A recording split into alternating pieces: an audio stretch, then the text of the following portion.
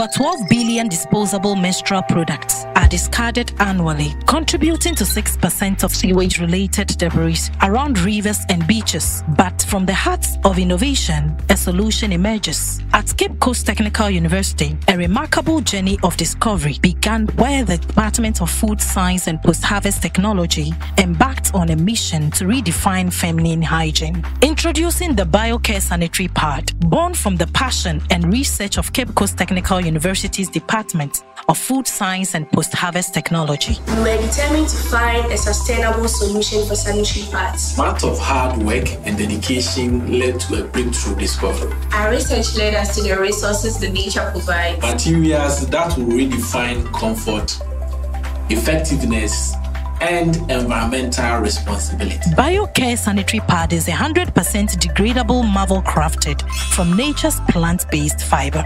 This thick, high absorbent wonder captures blood into moisture lock layers, leak-free, odorless, and, and so comfortable. When innovation meets dedication, victories follow. At the Innovation Pitching Competition, Founders Bootcamp Stage 2, held on the 27th to 28th of April 2023 at the University of Ghana, organized by PEMIPI Women in Technology. Ghana, in collaboration with RWTH Aachen University, Cape Coast Technical University emerged as the winner.